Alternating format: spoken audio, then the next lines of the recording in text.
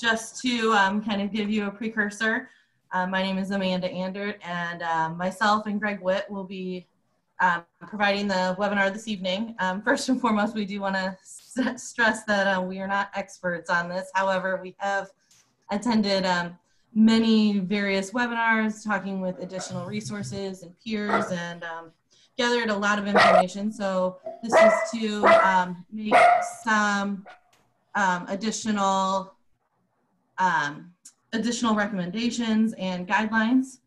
Um, we have muted everybody on the line, um, so we're hoping to utilize the chat function. So if you have any questions, please feel free to use the chat box. Um, and we will be happy to address those either during the presentation, they may be answered, or um, following, um, just depending on what it is. Um, again, just so you know, you know, we're doing the best we can with all the resources that we have. As we all know, COVID has been changing pretty rapidly, and um, this is kind of our presentation to best understand and um, be able to share what we've learned and some guidelines and recommendations for everybody. Um, again, my name is Amanda Andert. I'm the operations manager for ZBT Housing. And um, alongside me and probably in the, the main host of this is our previous past president of ZBT National Housing, Greg Witt. And I am going to let Greg share a little bit of his background and then I will begin sharing my screen. Thanks, Amanda. Uh, like, like, like she said, um, I'm the immediate past president of the ZBT National Housing Board and um, have a lot of experience in managing chapter houses. I'm the uh, president of the, the uh, Illinois Chapter House Corporation in Champaign and been spending a lot of time uh, very focused on, on what's going on related to to events uh, with our house at Illinois. Um, we have a uh, we sleep uh, we have capacity to sleep 88 people. We have an apartment style property and uh, clearly a lot of a lot of interest going on there. Um, just a couple things before we get into the presentation, though. Um, I think everyone needs to understand that, and I think Amanda said that we're not experts. All, all we can say is that we're a little bit more informed than many, probably many people are, because we've been attending a number of webinars that have been put on by various Greek housing management organizations, universities, and um, and reading material that's been, been pushed out by all these various resources, including our insurance broker and others. Um, I think the most important thing that we all need to understand, there's no playbook on COVID. Uh, we're all kind of winging this.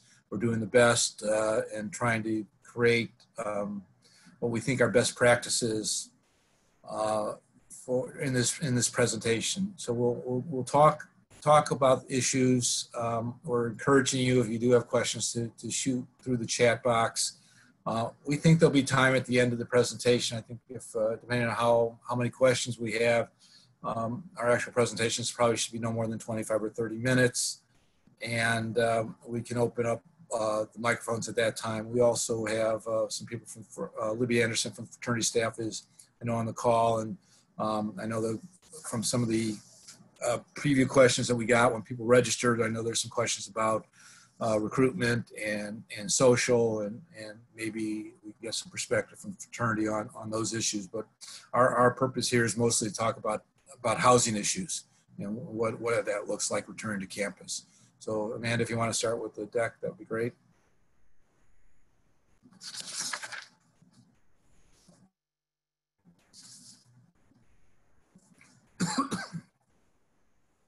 All right, making sure everybody can see it. Greg, can you see the, the Not yet. slides? All right, there we go. I'm gonna minimize this thing here. Um, so the presentation is gonna take, it's gonna have three parts to it. It's, it's really about how do we get the house successfully open? Developing the plan, preparing the house, and then being, being able to adapt to the curves that uh, we're going to see as as uh, as kids get back on school and whether there's success in eliminating COVID or not sometime during the school year. Um, you know, the first part, the developing plan to open the house. These are these are the issues that we're going to kind of talk about, talk through. I'm sure many of you have questions as, we- as we talk about each of these, these components.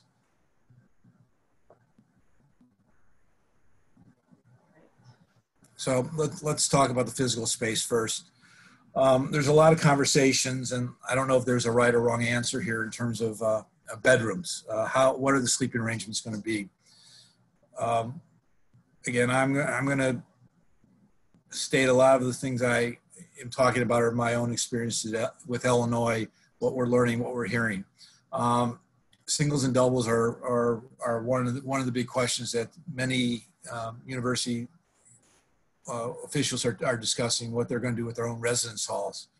Um, we've heard that many are, are limiting to singles. We've heard some schools are going doubles, and we've even heard some cases where, where they're allowing more than two people to be in a room. But I think one of the things that uh, we're hearing from various sources, and there was an article, and I, I was hoping to find it for, for included in the presentation, but I couldn't find it. But kind of a the model is if you're going to have more than one person in a room, it's kind of a head to toe model, meaning that if you have bunk beds, uh, you know they one on, on lower bunk the guy's heads to the left, and on the top top bunk his heads the other guy's heads to the right. Um, the same thing if you have twin beds in, in a room. So those are the kinds of things we're hearing. We're hearing about um, possibly putting some plexiglass up between between beds. Um, again, we don't know what we don't know if there's right answer, but I think what you need to find out is what the local university is, is encouraging, or if there's some uh, information that the state governments or local health departments are providing uh, in that regard. But those are things that you need to be giving some thought to. The next thing is, is sanitation and cleaning. Um, this is where probably a lot of uh, expectation, particularly from parents, are, are going to be. Um, limitation of procedures. Yeah, there's there's all kinds of what right and wrong ways to do it, and and I'm not going to tell you what what the right or wrong way is for you, but um, there's going to be a higher expectation both from the from the students that, that are residents in your in your chapter houses as well as the parents and even the universities on on making sure that the property is clean uh, and and regular clean. Um, you need to set uh, you need to talk to your cleaning crews your your property manager and set expectations on, on what you're you're going to do again i'll speak from our illinois experience. Uh, in in in previous years we did a weekly cleaning of the house. We had a, a service come in that cleaned all the common areas of the property.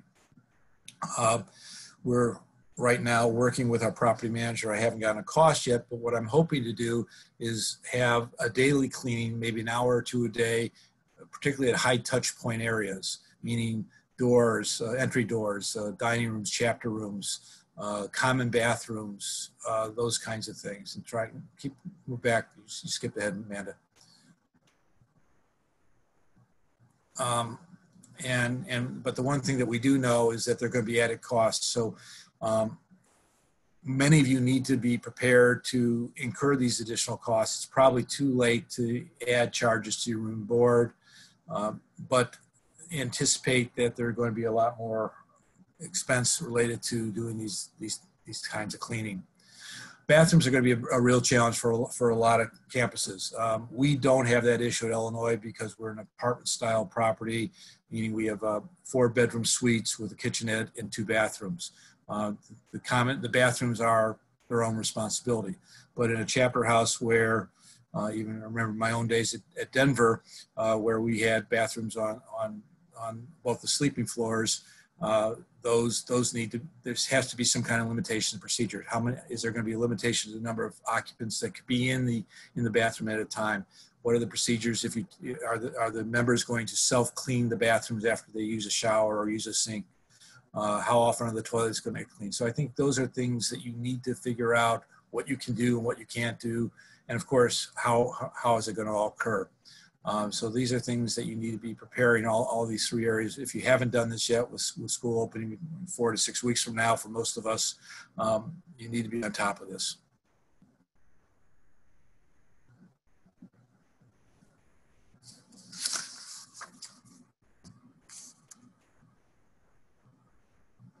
Okay, food services is, is another issue, and there's been a lot of uh, information uh, pushed out by various uh, uh, food service vendors uh, that, that serve the Greek community. Um, the one thing we can recommend is that you, you need to have an open dialogue with your food service provider. You have to understand what they're doing. You have to understand what um, what the best practices are. The you know, for example, the National Restaurant Association has a self-serve program, some of these organizations are are um, endorsing and using. Uh, there's all kind of health department codes. Where's the food being prepared? If you have your own kitchen, what are you doing there? If you're if you're bringing a catering company in, how are you doing that? I mean, I, it's going to be very challenging if you you have a, you have your own chef and they prepare the food on on your property. It's different with the catering company if it's prepared elsewhere where there there are probably better sanitation issues. But the one thing that we do know that for the most part during the COVID period that food service is probably not going to be buffet style like most of the chapters are used to. It's probably going to be some kind of prepackaged, prepackaged food. Or I've heard um, with some of the residence halls that people going through cafeteria line will point to there'll be people servers behind the behind the counter that you point to the item you want and they put it on your plate and serve it to you. Um, some of the things with social distancing requirements, uh, staggered shifts. Can you bring everybody in for a meal at the same time, or are you going to have to separate people? Um, to some degree, um, as local communities deem housing units are, you know, is, is our roommates the housing unit or is it everybody lives in the house? So you have to figure out what the local community is going to do and how that impacts your ability to serve food. But likely in many cases, you're going to have to have staggered shifts. And you know, if you if you feed non-residents in the house, how does what does that look like? You need to come up with a plan with your with your food service provider to see if they're going to prepare meals that they can pick up or if they're going to allow them to actually even eat in the house. Chapter interactions are going to be be really challenging. Um, as advisors and trustees to to these these undergraduates, you need to communicate the plan with your chapter leaders. What's going to happen? How how are things? What are things going to look like? Um, people are talking about controlled access to the facility, meaning what what are your policies in terms of letting people in into the building? Uh, not even talking about visitors yet, but talking about vendors, uh, suppliers, uh, kitchen staff, uh, Federal Express, UPS uh, do packages come in? Do anything get delivered to the house? Does it have to be quarantined for a while? So those are the kinds of things you have to have to give some thought to. Social events, you know, any kind of any kind of events in the house. What are they going to look like? I have no idea. Certainly, every every state's got different rules in terms of how many people can meet together as a group. Um, probably need to look at um, the uh, the possibility of holding things outside where, if, you can. Um, visitor policies are um, something that are in formation. What we are doing at Illinois is I'm asked, I've asked the undergraduates to develop their own COVID policies related to visitors. Um, we're still finalizing those. Um, but, you know, we, are hearing all kinds of things from resident halls uh, at the Illinois campus where no, no non-residents will be allowed in, in the residence areas. They can be in the common areas on the first floor, of the dining hall, because they have non-residents eating there, but going upstairs, that's a no-no. Uh, so you, you got to come up with those plans. But I think um, at the end of the day, everyone's got to be optimistic. You, you need to help people maintain the right perspective on, on what's going on. It's going to be a scary time for everybody. It's going to be um, it's going to be a new reality, and and they have to get through it. I know there was a question there. Um, uh, who's the person to enforce the chapter interaction policy? I, I think, um, you know, you know, I think that's going to be the trustees and the chapter president have to, uh, advisors have to come up with a plan how that's going to, how that's going to happen. Um, I don't know how else that can. I, you know, like in, in my case, I'm 165 miles away from the chapter house where I live, so I'm not going down there that frequently. But other schools that are where advisors or trustees are, are local, that's that may be easier to, to, to do.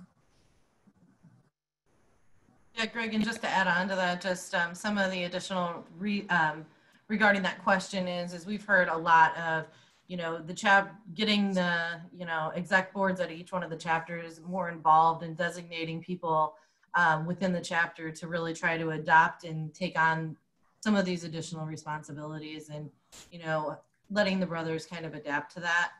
Um, and then just one more thing to add regarding food service. Um, I know that both the fraternity website as well as our website has additional resources for food services and recommendations that have come out. Um, there's been some great resources from Upper Crust and from Campus Cooks. Um, so just, you know, I think there's a lot of additional food service resources if you guys haven't had a chance to, to look at both of the COVID sites um, for the ZBT housing as well as the fraternity. There's a lot of great resources on there.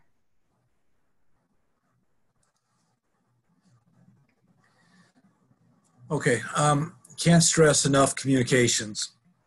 Um, every webinar that we've been part of is, is, has talked first and foremost about talking to all your shareholders, your stakeholders, letting them know what is going on. Um, and again, I'll, I'll, share my own experiences at Illinois. Um, and we when when COVID hit back in March, we sent out letters right away to not only the the members but the parents to let them know what was going on, uh, what our what our plan was in terms of uh, remote learning, how that was going to impact the house. We ended up closing uh, the chapter house because the dorms were closed. We thought that was a prudent move. Uh, we after the first wave of that got we got through the first wave. Then we had addressed the issues of refunds and uh, for room and board and social dues and parlor fees and all the other fees that were were, were associated. So we we communicated clearly with what was going on. Now, as we're as we're getting ready to um, to uh, go back to school, uh, here we are probably less than a month away from when when when the chapter house will open we've drafted a letter that's going to go out tomorrow and just give you an example of what our letter says at Illinois.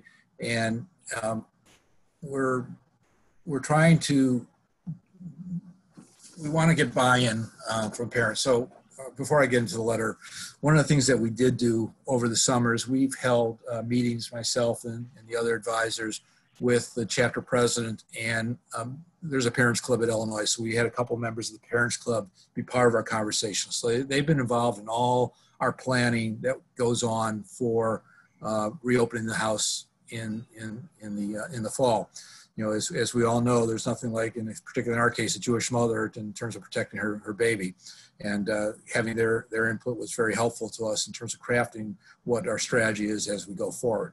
But our house, uh, our letter that's going to go out tomorrow is, is has talked talks a little bit about what we've done in terms of preparing the house for occupancy. Um, all the things we've, we've done in terms of cleaning and, and power washing stairwells and installation of hand sanitizer stations, soap dispensers in common bathrooms, uh, cleaning protocols changes, um, cleanings of all the bedrooms.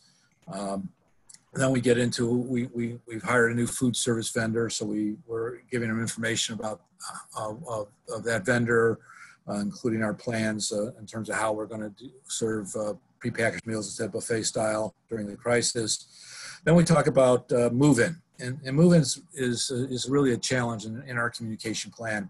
Uh, we're going to open our chapter house a week earlier than we had planned to.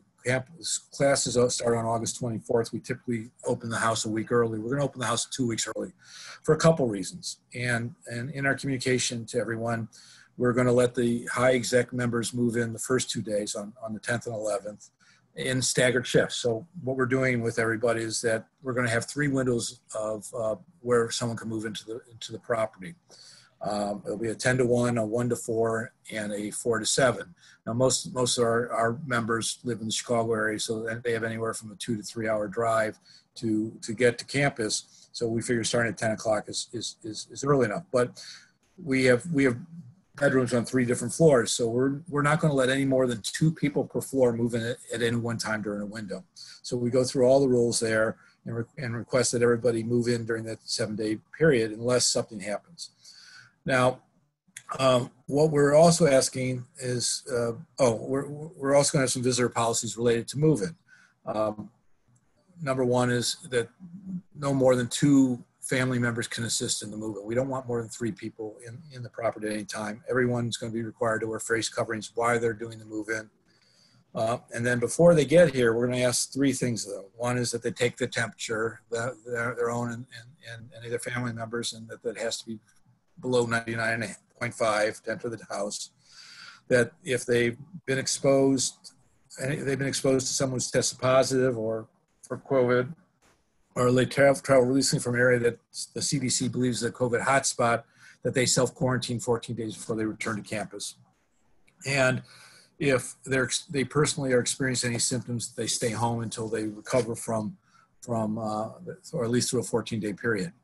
Uh, as I mentioned earlier, we're working on we're finalizing the COVID policy, so we talk about this in our letter as well, and we also um, remind people um, that they need to follow all the uh, prescribed requirements by the University of Illinois regarding social distancing, facial covering, temperature checks, and and uh, then what's happened at Illinois, which I don't know if it's happening in many schools. Illinois has developed their own COVID test. You know, I don't know how successful or not it's going to be, but they're they have the capacity to give 10,000 tests a day on campus. So we're going to encourage everybody once they get on campus to take one of those tests. Um, and then the big issue that in our communication thing is is what to do about if someone gets sick. We're not going to have a quarantine suite at Illinois. Uh, the residence hall, the university is not going to provide it to non-residents of their own properties. So we're going to request, we can't tell people to return home, but we're, we're going to re- request people to uh, return home if they can, if they test positive, been exposed. Uh, then we talk about, uh, we suggest uh, they be smart about use of alcohol or other substances, uh, even if they're legal age. And then we um, finally take a, a stand in terms of tell them that the trustees aren't going to be there. It's going to be up to them to um, to be responsible for themselves and their and everyone else, and remind them the three most important things they can do is practice social distancing, wash their hands, and wear face coverings. And then we thought it was a perfect time to remind them of the ZBT credo: intellectual awareness, social responsibility, integrity, and brotherly love. And you know, if they if they uh, it speaks well to the current situation if they follow those four four four steps of the credo. Um, and then in terms of alumni, we haven't come up with alumni uh, uh, plan yet, but we plan to do some communication with them. And we have been in touch with the university. University of Illinois has been very active in terms of understanding what we are doing. Uh, we're, we're part of certified housing at the university, but the university has taken surveys of, of our of what we're planning to do, what we're doing in terms of our, our singles versus doubles or larger spaces, what we're doing in terms of uh, quarantine and six spaces. So um, we've been we've had at least three or four calls over the last uh, six weeks with the university and, and other uh, Greek advisors at Illinois. So those are all that's all part of our communication plan. So hopefully you guys will look at at, at your own plan. Um, someone asked a question uh, about the Fair Housing Act. I'm not an attorney, but I I, I do um, understand from some of the webinars we've been on is that uh, as part of the Fair Housing Act, I do not believe, and I know there's some attorneys on the call, I do not believe that you can tell someone if they're sick that they have to leave. So that's why we, we say we encourage someone to leave and not, not telling them they have to leave. Um, and yes, Jamie Weiner asked if we can circulate the plan. Uh, yeah, I'll, uh, once we finalize our letter, I'll share that. Uh, I think what we'll do is there's a COVID page that on the ZBT website, and we'll we'll get this information posted on that website. I think a lot of some of the things that Amanda were, was referring to is also on that website already. Uh, legal liability, we've done we've made changes to our room board contract in Illinois. We were, I don't know, lucky to some extent that we delayed sending out room and board contracts until we knew that the university was going to open for in-person classes. Um, I'm a commercial real estate broker by by it's my livelihood, and I negotiate. So I negotiate leases for office tenants. And uh, when COVID was was going was happening, one of my clients was negotiating an expansion lease in that property in downtown Chicago, and the landlord created some language that they put in the lease amendment for for the expansion lease that I took and put into our own lease because it modified it for a fraternity house versus a million square foot office building. But some of the things dealt with uh, how to what our rights to what we can do during a health emergency, our ability to close things and, and stop services that we offer. So our our new contract includes those provisions. Um, but I've understood, and I think there's some some stuff circulating, and I've heard from other chapter advisors at Illinois that they've created a, an addendum to their room and board contract, which deal with the COVID crisis. So um, consult your own chapter attorney. I don't know uh, what, I don't think we've created anything. I'm not sure that, uh, I know we used uh, uh, a, a legal service. Of ZBT has a uh, has a um, attorney that we use, and I don't know if they've pushed out anything. Amanda, do you know if? Uh, Yeah. Greg, I can jump in real quick. We we do have a uh, an addendum that was given to us by our um, uh, by the uh, by by our insurance company. Um, we've we've been our attorneys though have uh, cautioned us against uh, using them.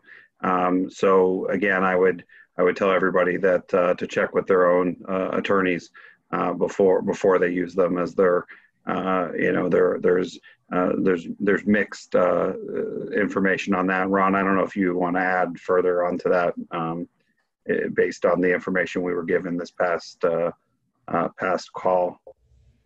Uh, sure. Um, I, I I don't, uh, by the way, I, just so you know, I, I'm using them at Arizona, but, um, it's been, uh, point, it was pointed out by, um, by Cliff Schneider that essentially the waiver is, is meaningless. Um, so he suggested a, a, a notice, um, instead of a waiver, um, where we're just notifying people that, you know, uh, there could be outbreaks of COVID or anything else in the house um, and uh, he doesn't believe that um, we would be uh, held responsible. And if people are concerned, he um, had suggested that we uh, put in, in the notice that they uh, links to uh, CDC uh, and WHO uh, uh, guidelines, um, but that you know essentially uh, there's really uh, he doesn't believe the waivers are worth the paper that they're printed on. Right. In fact, if you if in, on the on the uh, ZBT website there is a bunch of documents from James R. Favor, who's ZBT's insurance broker. Probably for many of our chapters, they're they're insurance broker as well. There's some signage that they've they've created, and we we intend to post um, those kind of warnings on our door about the the risk that entering the property may they could be exposed and things like that as well. Um, but yeah, I think it's it's going to be a very challenging time. So the one thing I can, I, I will say again, I'm not an attorney, but real estate laws and housing laws are, are local, and particularly in many camp college towns, they're very tenant friendly. So you just need to make sure you you check with local counsel before you do anything in terms of changes to your contracts. Um, and you know, chapter policies, I think it would be it's prudent for advisors and trustees to work with the undergraduates to to create a, a COVID policy for the chapter, what you're going to do with all kinds of issues in terms of visitors, in terms of, uh, of social distancing, wearing face masks, uh, and, and, and, and on and on. So um, that, that, that's my, my suggestion to everyone. Going the wrong way.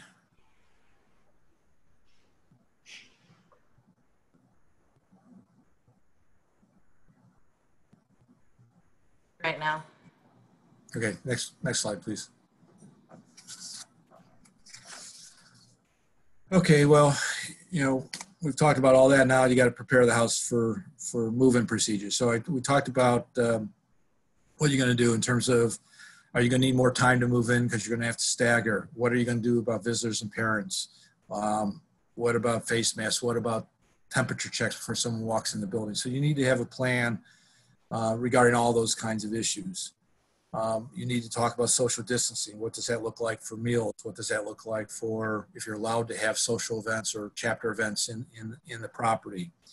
Um, the one thing I'm going to mention, only because our own property manager told us this back in, in May, installation of hand sanitizers. If you haven't ordered those yet for your property, you, you may be too late to get them by the time school starts. There was at one point a 12 week lead time to get hand sanitizers.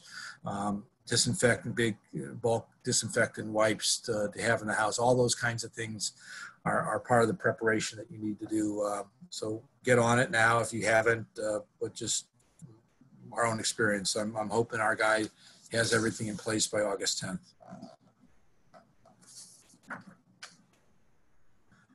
Okay, adapting. Um, no one knows how long this is going to last. We don't know if we start going to school and we're going to be uh, we start in person or a hybrid model with in person remote, or and then all of a sudden they pull the plug and said we're going 100% remote. So all these kinds of things are going to going to require you to be flexible in terms of what you're going to do. What are your contingency plans? Um, one of the questions that I got asked by our undergraduates just a week ago was, okay, um, what happens if uh, we're, we're at school and come Thanksgiving they tell us not to come back to campus? Is the house going to stay open? Um, the kids want to come back to school, so uh, and then it becomes a financial decision as, as well as a health decision. Our intent right now at Illinois is that unless the university tells us otherwise, we're going to allow the kids to remain in the house, even if they're 100% remote. Um, you know, as, as, many of you probably experienced, the financial hit of, of closing and offering refunds for half a semester was was exorbitant for us. I mean, we, we gave probably sixty or seventy thousand dollars in, in refunds and credits, uh, and and you know we're we are able to cut a deal with our landlord to not pay rent, so that was that was helpful. That was helpful for us. But uh, you, you have to come up with a plan. Uh, if if your members get exposed, uh, are you going to have a sick suite? Are you going to have a quarantine suite? What are you going to like? We are going to tell at Illinois, ask our ask people to go home. Um, but you, you got to have a plan. You have to understand. You got to work with the university to, to do that. And then it really gets down to um, social events and recruitments. Um, I know that the fraternity has been hosting, and Libby's on the call if people have questions regarding that. But um, they've been working on plans to how, how do you do recruitment in, in a COVID environment? How do you have social events? What are you, what, how do you justify social dues if you don't have any social? So those are all issues that you, you've got to be prepared to address, but understand that what, what we talk about today on July 14th may be different on September 1st or October or, or Thanksgiving or Christmas or, or going into the second semester. So be flexible, uh, communicate, make sure you, you tell people what you're going to do. You, particularly the parents have to know what's going on. Uh, talk to your university, make sure you're, you're, you're in sync with what their, their conversations are. Uh, if there are group, group conversations put on by the university, take part in them because they're, they are helpful. You're hearing what, you, what your uh, other Greek organizations are doing. You're hearing what the university's plans are, and they're going to be open and honest with you because everyone's in this together. And then just just the reminders, uh, your expectations. This, the hard thing is, will the, will the undergraduates follow these these these things? And we we were all college students once, and we get it. But I think to some extent, uh, you've got to stress the importance of of all these issues. Uh, the big three, you know, covering your face, social distancing, wash your hands. You got to make sure they they understand the reasons why we have there's going to be visitor policies and, and why they need to be enforced. And then they got they got to clean up after themselves. I mean, there's no question. Um, it's it's we know how these you know if you ever walked into a chapter house on a Sunday morning, you you, you know what it looks like. Um, and so we've got to we've got to make sure they understand these things that these are expectations, these are requirements, and uh, things are going to be a little bit different for for this semester. I think that's pretty much it. So if there are any questions or comments, uh, Amanda, if you want, I don't know if people want to, you want to open the mics or do it on chat. It's up to you guys. Why don't we leave the, why don't you put the mics open up everyone's microphone? Um, or you, I think you can unmute yourselves or um, I can unmute. I believe I can unmute everybody. A minute. I guess we covered everything, huh? Let's see here. Let me just stop sharing my screen and that will probably allow me. Yeah, now everybody can see. Does everybody know how to unmute themselves in the top right corner? You can go and you can you can click and unmute yourselves. I'm sorry, on your name, and then it will allow you to unmute yourselves. Does everybody know how to do that? If you don't and you want to talk, wave your hand. Wave your hand, then I can absolutely let you in. um, I, I would just, uh, I just have a, this is Ron. I have a, just a couple of things to add. Um, and I guess first of all, uh, Greg, thank you very much. That was uh, appreciate all of that, and I know that you've really been on this and attending all of the uh, the other webinars uh, offered to us, and uh, I, I, appreciate you getting this together and, and, doing it, and of course Amanda, you as well. So I want to thank the both of you for for the presentation. Um, the only the only other thing I just wanted to um, uh, raise uh, with everybody that I've um, actually kind of had conversations with today with the um, service that I use to do billing is um, uh, in the past, I would uh, typically allow um, uh, brothers to pay, particularly those that lived in, on sort of a, a 10 month basis um, from usually July uh, until March. And, um, and I have been advised not to do that um, and to get as much money as possible up front um, just because of the nature of not knowing what's going to happen with uh, with our with these institutions. There is a, a, and I think Greg referred to it. There there is a school of thought that uh, everybody's being um, very optimistic, and um, and that you know two or three or even four weeks in, uh, when uh, half the student population is positive for COVID, they're basically going to throw up their hands and send everybody home. Um, and um, and I think that that is a distinct possibility. And of course, for those that that own after houses and have a mortgage due, uh, that could present a huge problem. And, and for a renter like uh, like us at Arizona, um, it's it's also a, a big issue. So um, I, am not offering those monthly plans. If um, if somebody does uh, want to reach out and contact me uh, and and has a, a good economic reason, uh, I, I, may do it. Um, but but I'm trying to stay away from that uh, and trying to collect uh, again as much money as possible. So um, basically, I've given people discounts to pay in two payments. One payment uh, August 1st, and the second payment um, December December 1st. Uh, and then um, if they don't choose that option, uh, we're going to collect um, the the uh, half half of the money uh, one, one on August 1st, a second payment on September 15th, uh, a third payment um, uh, in November, and a fourth payment in December. That's uh, that's what we've chosen to do, just because uh, uh, we are concerned that uh, we're not going to that people are sort of going to take a wait and see approach and pay as little as possible to make a determination uh, so that they're not, uh, so you know, quote unquote, holding the bag if if school ends. Greg, this is Steve. Uh, thanks to you and Amanda for your uh, efforts. I, I just want to touch upon the fact that space is going to be limited on your campuses and you're most of us are going to need larger rooms to have meetings in to have events in i encourage your groups to uh, start making reservations, whether it be for rituals, for your Monday night meetings, for recruitment uh, events. You want to look around your campus, look around your community. Others, it's going to become apparent to them when they hit campus. They can't do these things in their house, and uh, you want to grab up the space that's available that's going to meet your needs and allow for social distancing. Uh, certainly, we're going to have to move into the uh, recruitment end of things uh, uh, as advisors, we, we are going to need to work with our groups as to uh, what type of activities outside of the chapter house are going to be doable. Uh, we're already talking about splitting into recruitment groups, recruiters and, rec- and recruits, and rotating them around because we're not going to have to, ha- we can't have events with 75 guys or 150 guys.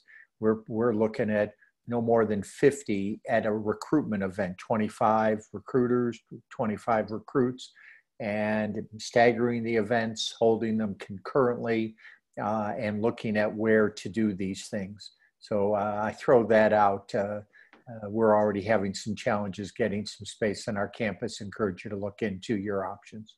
Yeah i, I think that's a, a, really good point steve but i will caution everybody um, to, to please check with your institution.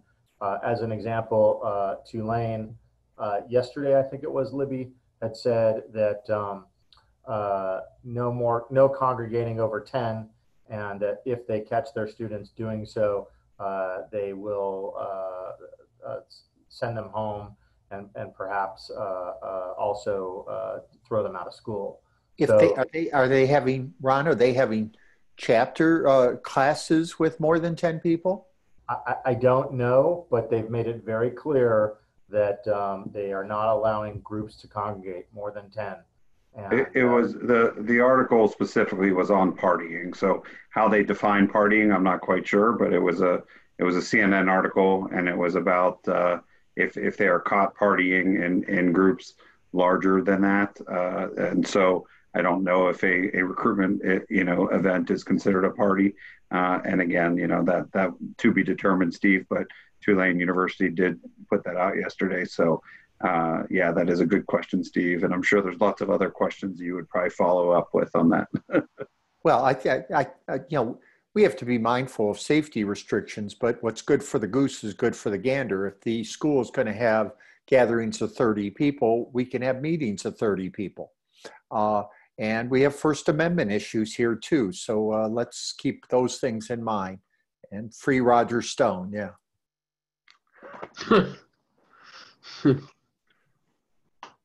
um, hi, uh, Greg. You talked a little bit about visitation policies. Can you do you have any advice, in, or Amanda as well, about um, brothers who don't live in the facility and how to proceed with them because um, obviously the space is there as, as well. However, they're not living here. Yeah, we're working on that. We we believe that the non-resident members have to have access to the chapter house. We don't see how you can function as a, a property. We at Illinois, the the uh, the sophomores and juniors live in the house. The freshmen and seniors don't, and and um, we will have to figure it out. We have a big property. We can, you know, it's just a question of can, but in Illinois right now, we're restricted to gatherings of less than 50 people or less. So I, again, we have to see how that, that, that'll work out. But we're, we're right now, our intent is, as part of our policy, um, you know, they'll be, they'll have subject to temperature checks. They'll be subject to exposure requirements, all those kinds of things that we'll put in the, in our, in our policy. And once we, once we do get that, I'll share that with, with fraternity staff and can get on the website as well as an example. But I'm hoping to have that finalized this week.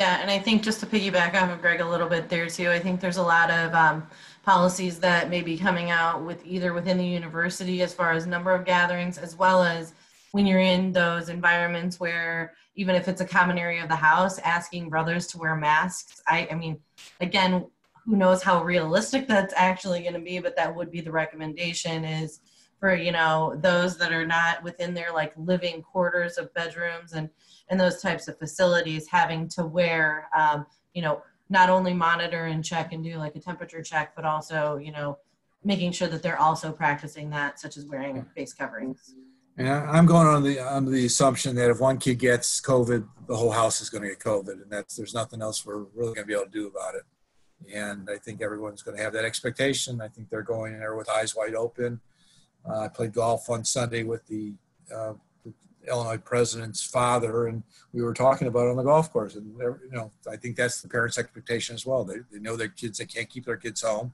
and they're going to be college kids, and they'll do. You know, hopefully they've got they'll be smart, and I'm going to guess 80 or 90 percent of the kids will be smart. There'll be 10 or 20 percent, like always, that are going to be screw ups, and they're not going to care. Hmm. It's a famous, uh, the famous scene in Animal House where they're in Dean Wormer's office and drunk, stoned, and stupid isn't any way to go through life. And that's that's kind of the college fraternity experience to some extent for some of these kids. Well, Greg, having been your advisor when you were an undergraduate, this would not have changed your social life. So, yeah. So, right, is that what you're implying, Steve?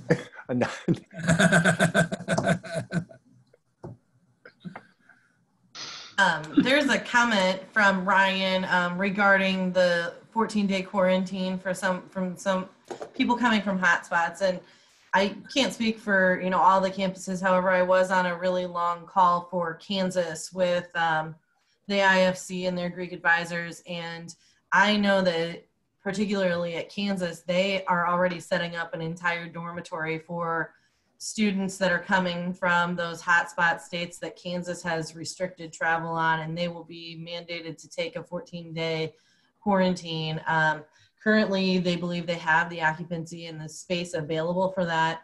Um, and they think that they will be able to provide quarantine for some of the Greek life, but maybe not on the initial quarantine factors. But then after after that time frame is up. Um, I can speak for ZBT Housing in that house that we are working to set up a quarantine suite in there that would be able to um, to have up to four people that have been infected in a quarantined area uh, with their own private bathroom. So, um, you know, we're doing that where it's possible. Um, I know, like Greg said, at Illinois, that's just not possible in their house. Um, but when we have that, that is a recommendation that we're trying to make. Um, you know, and obviously, I think, like Greg said, everybody's trying to work together. I know a lot of the Greek life offices at all the campuses are trying to make sure that we can all work together within the universities and within, you know, each other, trying to provide safest ways because chances are likely somebody at one of these campuses, you know, is going to be infected. So, Right, but, but to add on to what you just said, Amanda, in terms of quarantine or sick suite, um, number of the webinars that we've listened to talk about that issue. If it's going to be provided, you have to do it right. Um, that you have to deliver meals to the room. You have have private, you know, separate bathrooms for them. All kinds of things that you need to go through. So if you're going to do it, you need to make sure you're doing it right. So that that's that was kind of my question. Is that that you know I've heard that you know yeah you need to have a separate bathroom for every you know quarantine or you know isolated person. I mean certainly if you have common bathrooms only, you can't do that. So is it better than if we have extra rooms? Because we've had a bunch of people just say, you know, since I've sent the, the housing contract out saying, you know, my parents won't let me live in, you know, given what's going on, which, you know, we kind of made a decision as a housing corp to say, okay, we're not going to necessarily penalize you for that because, I mean, what are we going to do, right? I mean, if someone's got an immune, uh, you know, compromised immune system or they're just not comfortable, we're just going to, you know, hold them to their to the lease that they've committed to. So, I mean, in our case, I mean, does it make more sense than do you think not to hold those rooms out and go with singles um, and split people up? I mean, we're going to have extra rooms, and I I was planning all along to have some sort of a quarantine space, but again, we've got the common bathroom situations. I don't know the best way to go there. I don't know if you can have uh, with common bathrooms. How, how do you have a private bathroom for unless You can't. I mean, we, we, we don't bathrooms for have. people to get exposed? Yeah. I mean, So all of the, um, all the webinars that I think we've been on, and I think Greg, you would probably agree, that, um, that if you don't have the common bathrooms, you really don't have a quarantine area.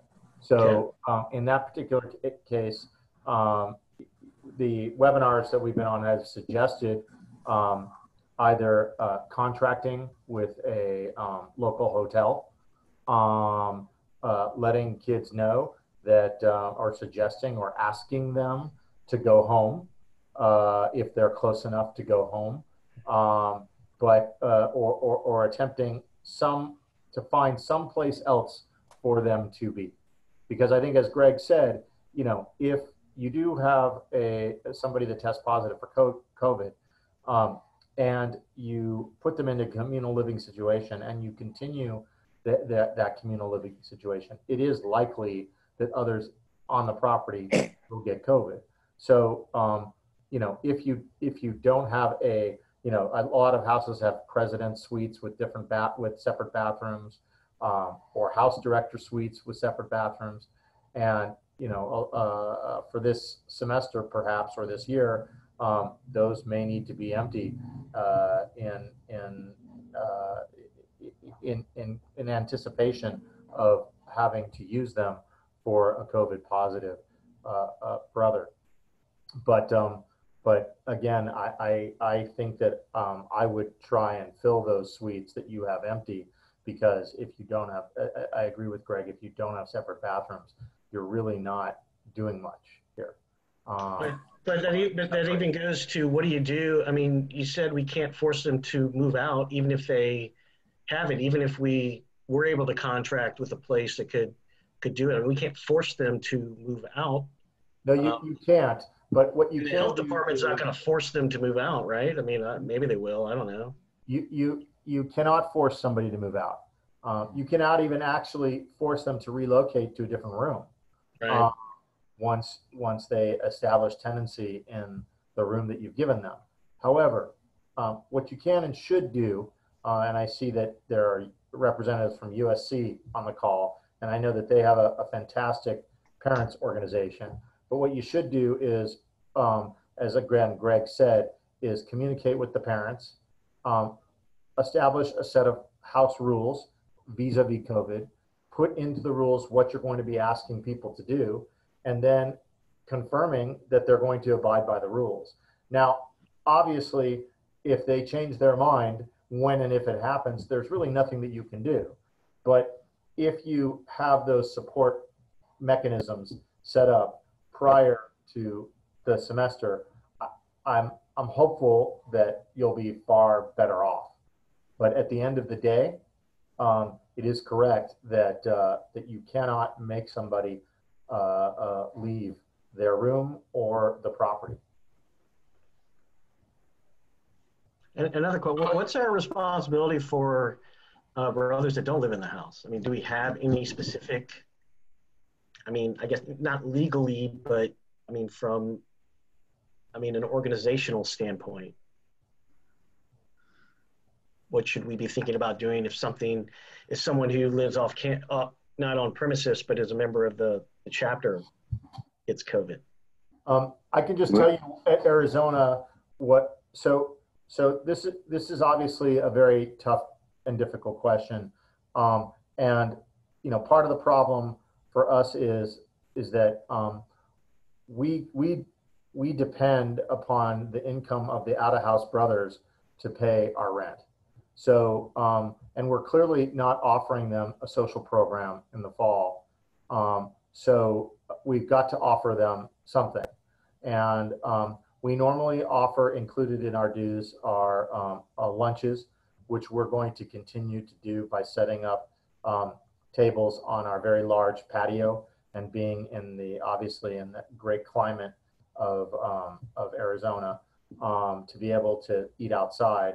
And we will continue offering them lunches. But one of the other things that we've done is contracted with um, a urgent care facility, a local urgent care facility to do um, testing for all of our members um, uh, uh, upon arrival in in Tucson before they before the residents move into the house um, or before um, uh, out of house members come into the into the property, and then on a regular basis throughout the semester up to two times uh, in, in a month.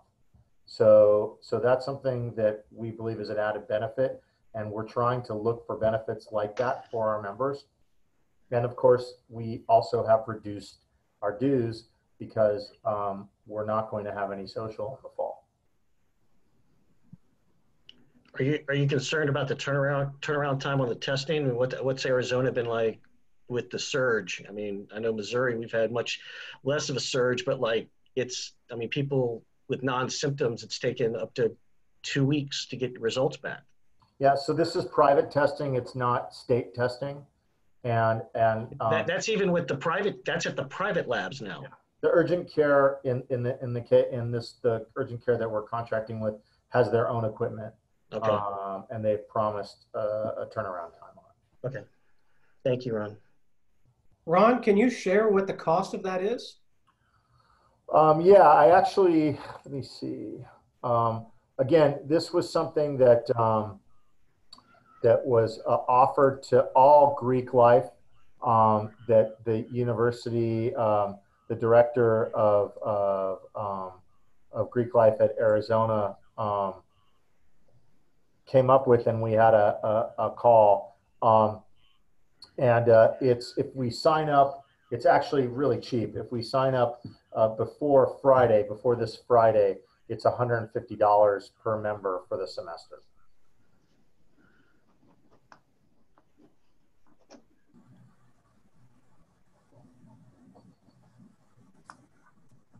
I'm gonna, do you guys, uh, well, I can show you the flyer on it if you want.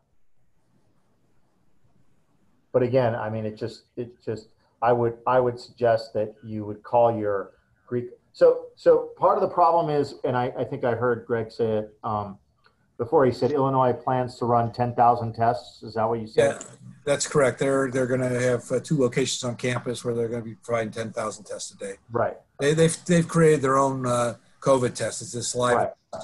So, so the University of Arizona has done the same thing. The problem is you're going to have 30,000 kids arrive to school, assuming that it even starts on time, uh, at roughly the same time period. And I think uh, I think it was George who said, you know, in terms, or or Andy who said, you know, the, the turnaround time on this stuff.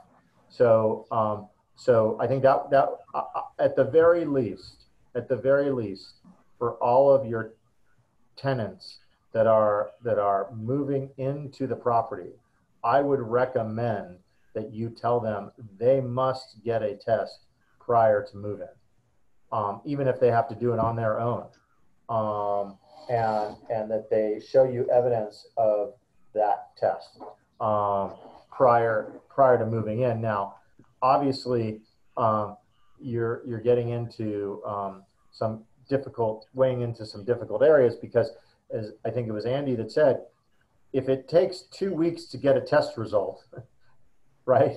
You're you're it, that that test by the time the kid shows up might be meaningless, especially if they went out and partied, you know, in the weekend between before coming to, to campus. So I mean, I, I think I understand that, but I but I think we want to do the the best that we possibly can to ensure the safety of our members, understanding fully that there's no way to do that um, uh, 100%.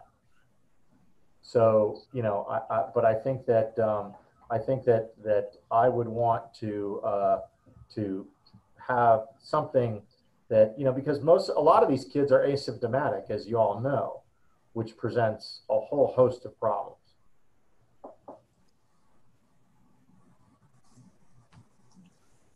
Agree. Thanks, Ron. I will also just leave you with one last thing.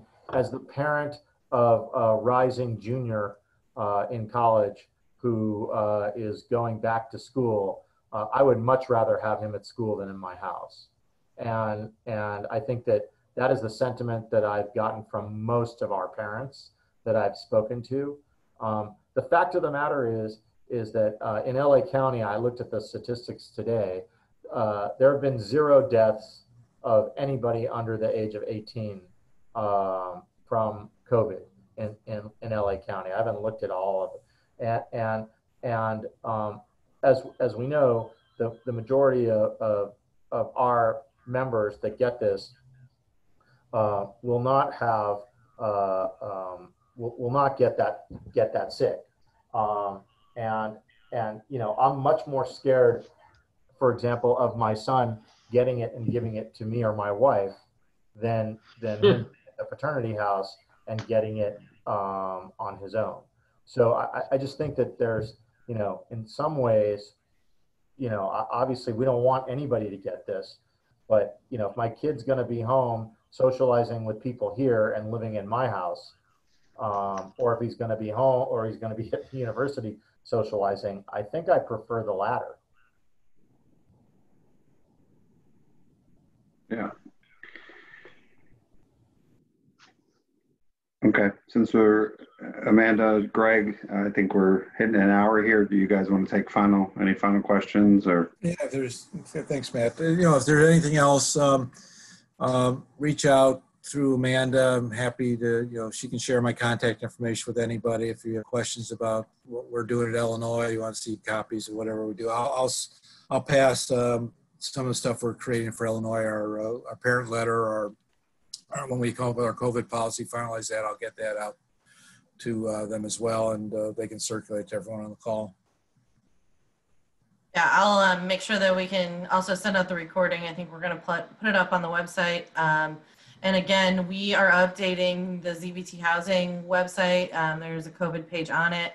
Again, the fraternity is also updating it with resources as well. So there we have resources you know as as we get them as we find i mean we get a lot of resources we only put the ones that are that are truly you know i think really helpful um, we've gotten a few from James R. Favor which have been really great and again some of the food service ones and then you know anything that we come up with or any policies but um, you know again we're happy to share with anybody and you know, if you guys need anything, don't hesitate to reach out. We're we're here for you yeah. guys. And or if you have a good idea that you're going to use locally, share it with yes. everyone because there, there's no right answer to what we're doing. Everyone, you know, we, we right. we're, do, we're all going to have local issues, and we're going to have our own, you know, our own students that we have to deal with, and they're all unique themselves. So, um, no right answers, and please share right? If you come up with something and you think we should know about it, please let us know.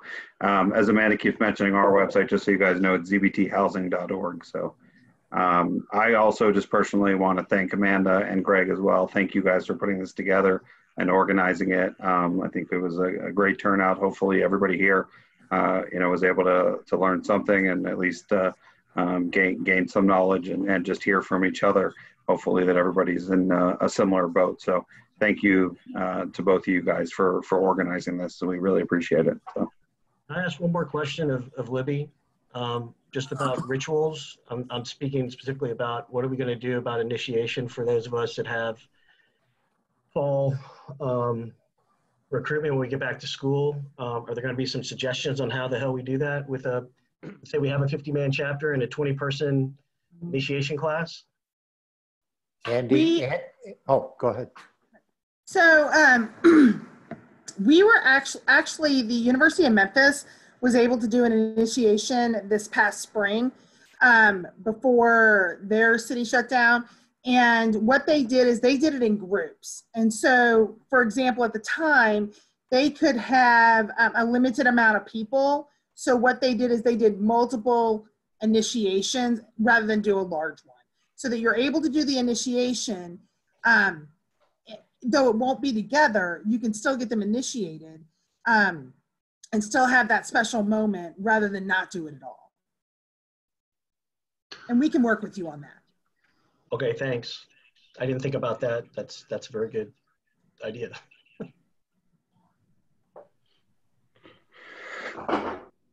Anything else for Libby, for me, for Ron, for Amanda, Greg, for each other? Well, we have, we're all together right now. Anybody? All right, guys. Thank you so much, everybody. Greg, thank you again. We really appreciate it. You're welcome. I know you've Thank you, attended. everyone, and thank you for everything you're doing. Thanks, everybody. Appreciate it. Thank, thank you, Greg.